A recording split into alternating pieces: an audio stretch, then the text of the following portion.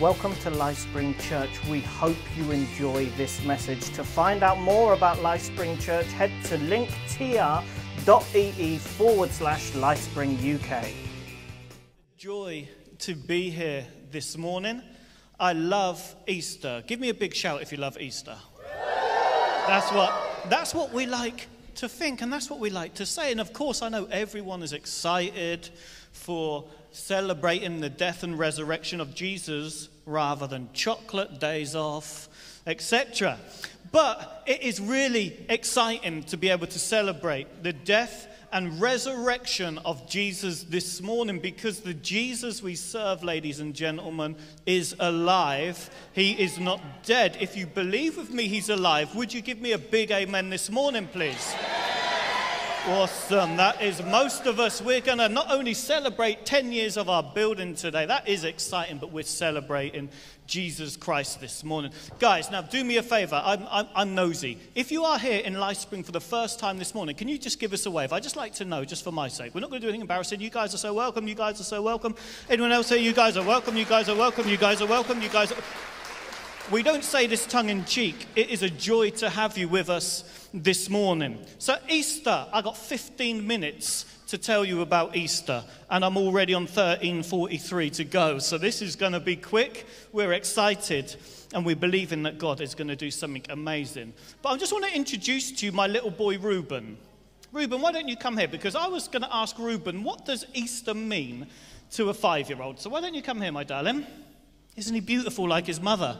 And father. I mean, um, mainly, his, mainly his mother.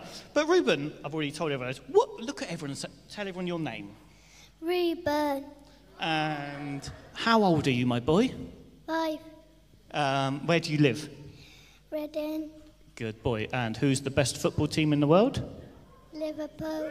Oh, good lad. We've trained him very well. Oh. Those people who are booing will respond to the gospel message at the end of the talk, I think, Reuben. Um, and then, Reuben, what does Easter mean to you? He is risen. Sorry, say that one more time. He is risen. Amen. And now then, let's be honest. We were up very early this morning, and why was that? Because he died. Oh, yeah, he did die, but was it? Did you like the chocolate as well? Yeah. yes. All right, thank you, darling. So, there we go an all age service, and we got a youngster involved as well. So, Easter, what do we think about? Reuben definitely did think about chocolate this morning. Put your hands up in the air if you've eaten chocolate already today. That's the honest ones. I know lots of you are being honest. Or perhaps when we think of Easter, maybe we think of the Easter bunny or maybe you guys who go to school or university immediately think of having two weeks off. Or maybe you're like me and you're thinking the US Masters is on four evenings in a row. That's golf for you guys who don't know. Or maybe some of you think of the importance of coming to church. I do it on Christmas and I'll do it at Easter what do we think when we think of Easter? You see, we celebrate the birth of Jesus at Christmas, and at Easter, we celebrate the death and the resurrection of Jesus Christ. So, Lifespring Church, I want to remind you for the 100th time this morning that Jesus is alive, and that is why we are celebrating this morning. Because, truth be told, guys, is if he wasn't resurrected, we may as well go home now, eat our chocolate, put our bunny ears on, and watch the golf. But what I love about my God, what I love about my Jesus is he is alive. He is not dead. Death has been defeated, and each and every single person in this room can have a relationship with Him. What do you guys think of when you hear of the word love? Some of us here may think marriage. I'm very blessed. I've been married for 14 years. I got married at 12 years old. Um, I didn't, by the way, just to clarify that. I got married at 26 years old. Do the math yourself if you risk it. Maybe we think of marriage. Maybe some of you younger folk, when you hear of the word love, you get all cringy. Maybe some of you think of football, although I can confirm that football is so 2021. We're not interested in football this year. Or perhaps when you think of love, you think of Numberblocks or bluey. Or maybe that's just Reuben. Or maybe you think about the importance of your family and friends. Perhaps you love English and you think of Romeo and Juliet. Maybe some of you guys have got the songs running around in your head at the moment. It must be love, love, love. You can see why I'm not on the stage, can't you? Or perhaps you got the song, What's Love Got to Do? Got to do with it? Well, I'm going to tell you. There you go. That's me done for singing today. You'll be pleased to hear. Yeah, whoa. Jesus is resurrected. Woo. James is going to stop singing just as louder. Woo. But what has love got to do with it? And I want to tell you this morning, it has everything to do with it. There are so many amazing words, guys, which can describe our God strong, mighty, protector, victorious, worthy, holy, divine, sacred, just, awesome. All amazing words, and they are amazing. But a word I wanted to use this morning to describe our God is the word love. 1 John 4, verse 7 says this Dear friends, let us love one another, for love comes from God. Everyone who loves has been born of God and knows God. Whoever does not love does not know God because God is love. So, guys, our God is love. That is what the Bible says. And that is exactly what we believe. God is love, and He loves anyone and everyone. He loves us so much. In actual fact, we read in John 3, verse 16, which I think Pastor Nev alluded to this morning For God so loved the world that he gave his one and only Son, that whoever believes in him shall not perish, but have eternal life. Guys, people in this building, people watching online, Jesus died upon the cross, and three days later, he was resurrected. That's why we are celebrating today. Jesus is not dead, he is alive. Now, there are many kids in this room this morning, so I can't show you pictures on the screen of what he's done with us for us. And obviously, I can't go into too much detail about what Jesus did for us on the cross, but what I can tell you is this Jesus guy who loves you, and he loves you so incredibly much, was battered, he was beaten up. He was bruised. He was whipped. He had a crown of thorns shoved upon his head. He was spat at.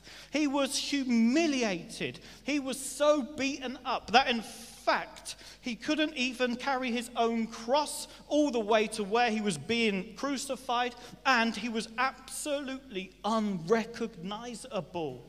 Jesus was then nailed upon the cross, and then on that day he breathed his last and died. Now, if that was the end of the story, that would be pretty sad. It wouldn't be a reason to celebrate today. He would have just been a good man with wonderful teachings. But our God is so much more than that. He was resurrected, He is God, and He is alive. We read in Luke 24, verses 1 to 8. On the first day of the week, very early in the morning, the women took the spices they had prepared and went to the tomb. They found the stone rolled away from the tomb. But when they entered, they did not find the body of the Lord Jesus. While they were there wondering about this, suddenly two men in clothes that gleamed like lightning stood beside them. In their fright, the women bowed down with their faces to the ground. But the men said to them, Why do you look for the living among the dead? He is not here, he has risen. Remember how he told you while he was still in Galilee, the Son of Man must be delivered over to the hands of sinners, be crucified, and on the third day be raised again. Because you see, ladies and gentlemen, we celebrate Easter today, not because of the bunnies and the chocolate, although we do love the chocolate, but because the tomb is empty. He has risen. Jesus is alive. Jesus has defeated death, and the reason we can all sit or stand or watch online this morning is because we serve a Jesus who is alive, who wants a relationship with us, and loves us regardless of what we have done in our life. Jesus is alive. Thank you, Jesus. Now, I'm having to whirlwind this. I've got four and a half minutes to go, and I'm about a tenth of the way through the message. And trust me, Pastor Nev likes to keep to a running order. I can promise you that. 1 Corinthians chapter 15, verse 1 to 9 says this Now, brothers and sisters, I want to remind you of the gospel I preached to you, which you received and on which you have taken your stand. By this gospel you are saved if you hold firmly to the word I preached to you. Otherwise, you have believed in vain. For what I received, I passed on to you as of first importance that Christ died for our sins, according to the Scriptures, that he was buried, that he was raised on the third day, according to the Scriptures, and that he appeared to Cephas and then to the twelve. After that, he appeared to more than 500 of the brothers and sisters at the same time, most of whom are still living, although some have fallen asleep. Then he appeared to James, then to the apostles, and last of all to me as to one abnormally born. Now, guys, this is really, really important because you see in the scriptures, in history, Jesus was seen by people, not only his disciples, although his disciples, after being resurrected. Jesus was seen by over 500 people, it tells us here, after being resurrected. All 11 of the 12 disciples of Jesus were martyred because of their faith. Martyred means being killed for what they believe in, essentially. But I'm, I'm sorry, guys, but you're not going to allow yourself to be killed for something which is untrue. All, by the way, with historical evidence. You see, guys, Jesus overcame death, and he loves you, and he wants you, and he is alive. But what must we do? We want to celebrate Jesus, and this might be your only trip to church of the year.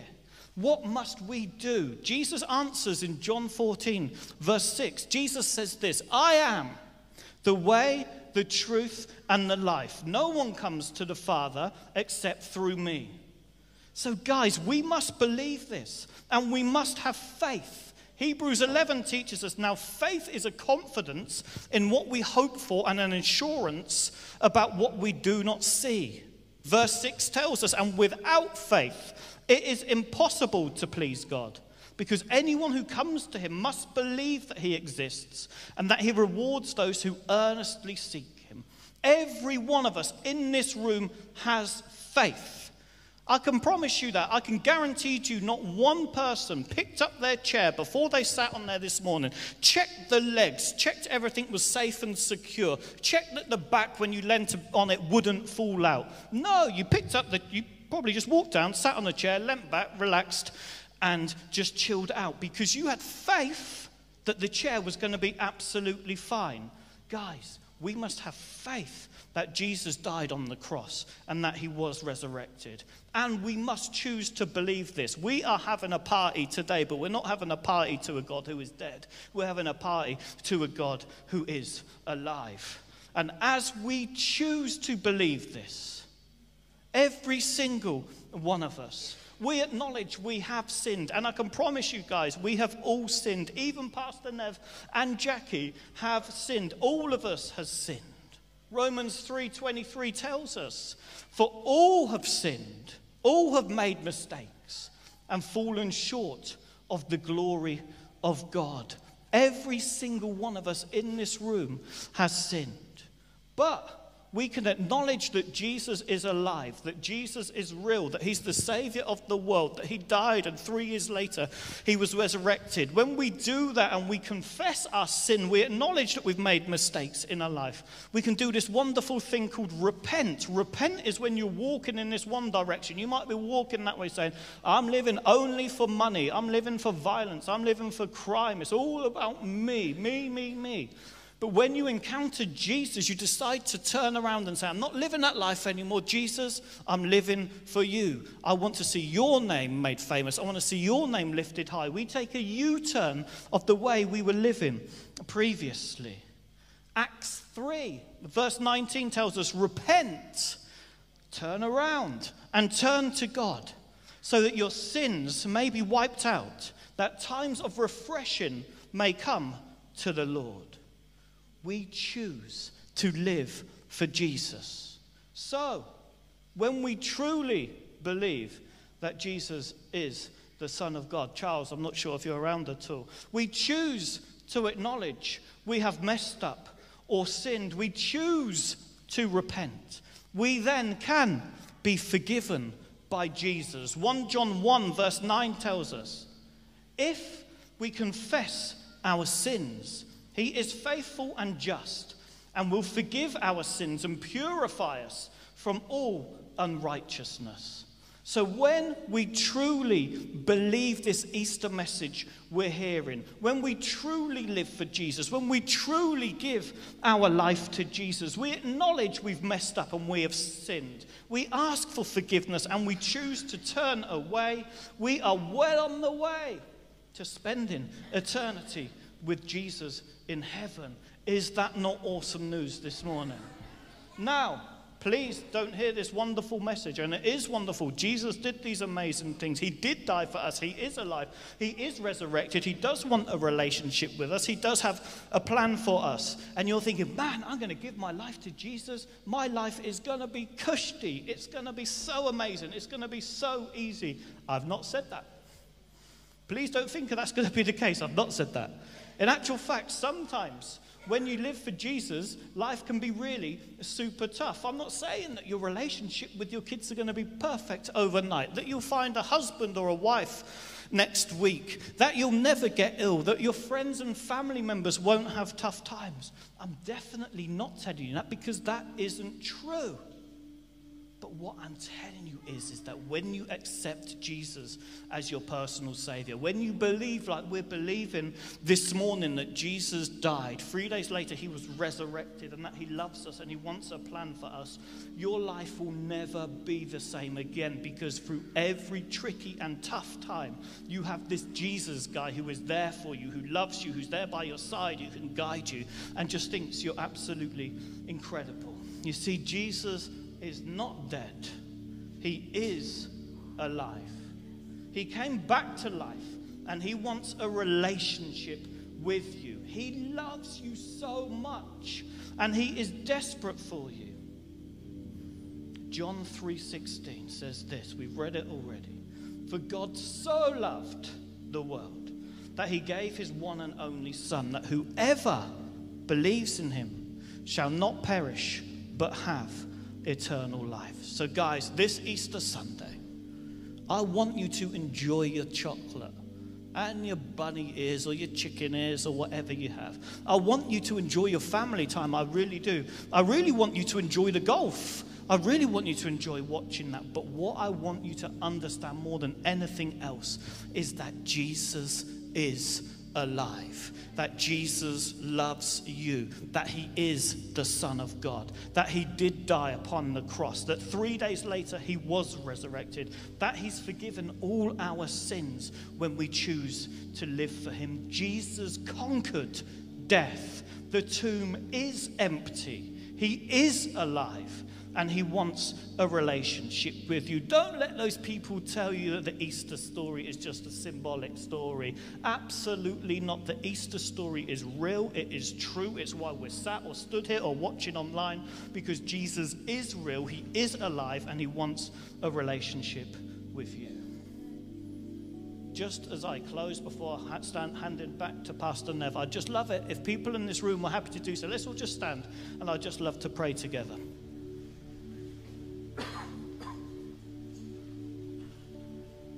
Now, I'd love for us all to say this prayer this morning. Whether you said this prayer for the first time or for the millionth time, we're a family here in this building and we're all going to pray it together. So that if you're praying this for the first time, you don't feel awkward or anything like that because we're all praying it together because we're family. What I'd love you to do if you were to feel comfortable is just to hold your hands out in front of you. Now, no one's going to come round and steal your phone, I hope. We've got security in here or anything like that. We're just closing our eyes and holding our hands out because the way I see it is we're about to receive a gift. You can't receive a gift with your hands in your pocket. So we're just holding our hands up because we're about to receive a gift. And then what I'm going to do is I'm going to say a prayer. And if you were to feel comfortable as well, I'd love for you just to repeat the line after line with me. Everyone in this building is going to do the same. Lord Jesus Christ, I'm sorry for the things I have done wrong in my life. Please forgive me. I now turn from everything that I know is wrong. Thank you that you died on the cross for me so that I could be forgiven and set free. Thank you that you offer me forgiveness and the gift of your Holy Spirit. I now receive that gift. Please come into my life by your Holy Spirit to be with me forever. Thank you, Lord Jesus. Amen.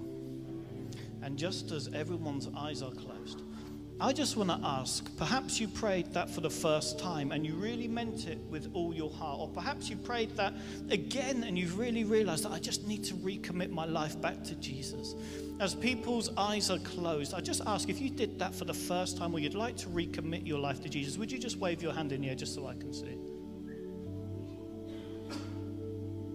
Thank you, thank you. There's two people there. Anyone else want to give their life to Jesus or recommit their life to Jesus? We've got two hands in the middle. Anyone else at the back? Anyone else at the front? Just give us a wave, just as people's eyes are closed this morning. Someone right at the back, I see you. Two people right at the back, I see you. Anyone else? There's four hands gone in air. Anyone else? Just for five? Maybe? Suddenly want to give their life to Jesus this morning. Just one last time, guys. If you want to give your life to Jesus this morning, just wave your hand in the air to me, just so I can see. No one else can see. Another two there. Another two there. Another one at the back there. Another one at the back there. Another one right at the back there. Guys, another one just there. Guys, what? The food's not going to get cold, so don't worry about that firstly, all right? Get that out of your mind. The food's going to be there, so, so, so do not worry about the food. This Easter Sunday, we are celebrating 10 years, 100%. But also, we want to celebrate people giving their lives to Jesus this morning. Now, what I want you to do, there's nothing special about this bit of floor at the front. But what I've learned in my walk with Jesus is that sometimes you have to get out your comfort zone right from the word go. Otherwise, we start hiding behind people. And that can be tricky. So, what I'd like you to do, if you put your hand in the air, maybe you're a bit shy, tap your neighbor. Perhaps your friend brought you along this morning. And I would love for you just to come to the front here. Pastor Jackie has just got some free literature we'd love to give you. And then we will carry on with our service. So, so why don't we, guys, why, why don't we clap as a church? And if you were those people who put your hands up in the air, why don't you come to the front this very second?